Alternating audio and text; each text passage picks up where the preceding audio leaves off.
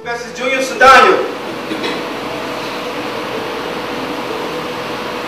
Specialist Junior Cedeño Sanchez. First off, Staff Sergeant Fall and Specialist Cedeño are no longer in our ranks. They were killed in Dora, Iraq, 28 May 2007.